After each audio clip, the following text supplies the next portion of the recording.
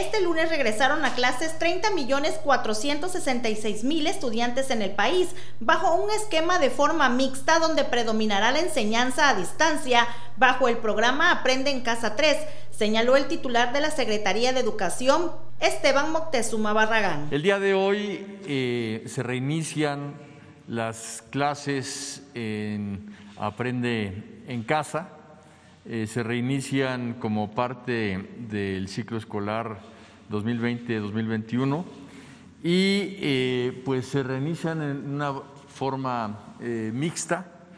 en algunas escuelas ya empieza a, abrirse la posibilidad presencial y en, otras seguirá a distancia. Como ustedes saben, el Consejo de Salubridad General eh, señaló un semáforo en donde cuando esté en verde se puede regresar a clases y en este momento hay dos estados en verde, Campeche y Chiapas.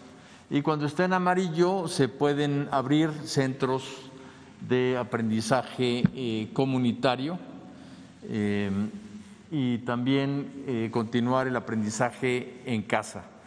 Una cosa importante es que como no en todos los estados se va a ir abriendo eh, regularmente las clases, sino van a ir al ritmo en que se aseguró hacerlo en semáforo verde, eh, la educación a distancia va a continuar permanentemente como una opción en la República, como lo instruyó el señor presidente de la República.